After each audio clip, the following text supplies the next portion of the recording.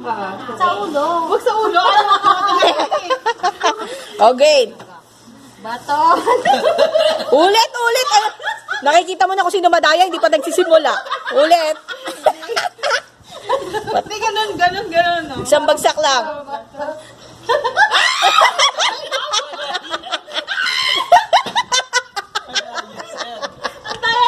Sabay, sabay, sabay.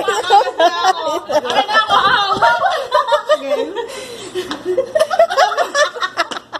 Slow mo. Sino makakadami? O, game. Mabilis na nga. Gusto makaganti kagad, oh.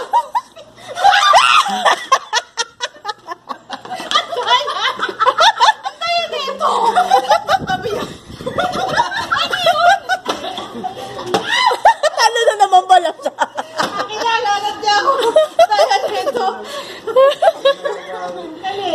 Naga, Oh, last one, last one. Go, go. Mabilis naman. Ang babaling. Bato, bato.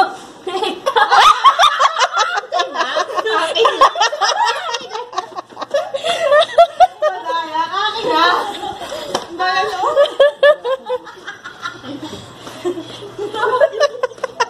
hindi talaga, ganito talaga. Ayaw magpapala sa... Maldita talaga ng brago doon sa bahay.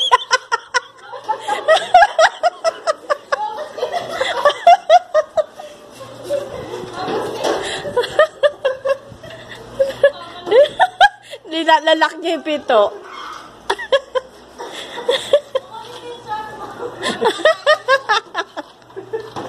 so, nakaisip eh, no? O, alam mo na.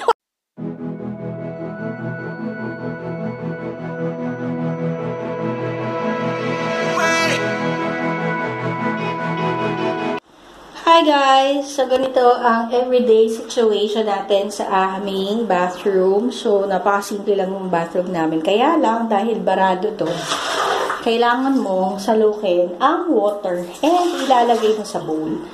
So ganyan po yan kasi hindi gumagana yung drain. Yan. So everyday after mo maligo, ito yung pinaka-exercise mo sa umaga sasalukin mo din lahat ng water na ginamit mo. Ayan. Ayan po siya. And then, imamap natin. Kaya lang, nagkakaroon na siya ng lumot kasi nga, minsan, nai-stuck yung mga small water. Ayan, hindi siya, hindi talaga siya, umano, kahit ninagyan na yan ng muriatic acid. Hindi pa rin siya. Yan. Ganyan. Ang scenario ng bathroom. And then, if a flush, yan. So, ganyan.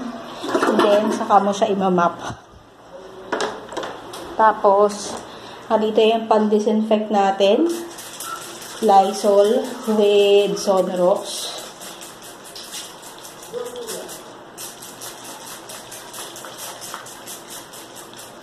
Kasi inuupuan natin yan. Ayan siya. Hi! Yeah, that's it.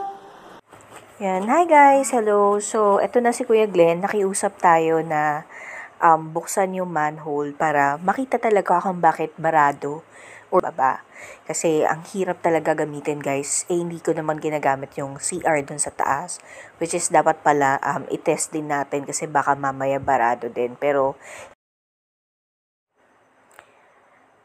Ayun guys, ito na, si Tito, ayan, sundot, sup-sup tae. Charot, hindi naman.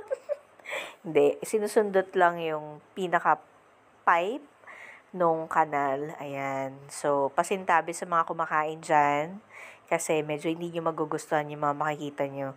So, hindi naman to yung Poso Negro guys. Ito lang yung connecting lang dun sa pinaka main bathroom, papuntang main drainage nung subdivision. Kasi talagang hindi talaga gumagana yung drain. Eh, sa dahil ilang beses ko na tong rename, wala namang pumapansin. So, sariling effort na lang para maayos. Huwag na lang hintayin yung mga dapat hintayin na umaksyon. Ayan. So, luckily, okay naman.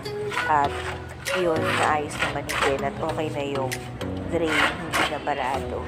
So, ito yung isa pa sa mga pinagawa natin, guys. Kasi, um, eto nga, dahil nag-extend na yung katabi kong unit. So, itong pader na to, yung nakikita yung white, yun lang talaga yung original na pader ng Sanera.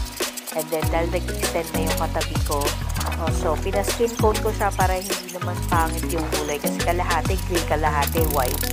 So, pinapantay ko na yung kulay kay Glenn. Um, skin coat lang yan and then after nyan, papipinturahan. Ayan. So, ayan na guys. So, medyo maganda ng tignan, di ba? Kasi even na na white na yung buong pader. Kasi medyo ang pangit tignan nung una kasi kalahati gray, kalahati is white. Ayan.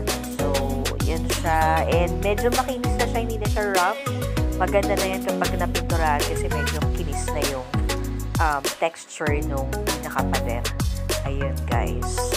Ayan. At medyo mainit lang. So, yun lang naman yung mga development and progress dito sa unit. And then, um, sa next vlog, hopefully, yun ang sa likod natin yung ito-document ito-document ko very, very soon. So, i-update ko kayo guys. Yun lang. Thank you so much for watching.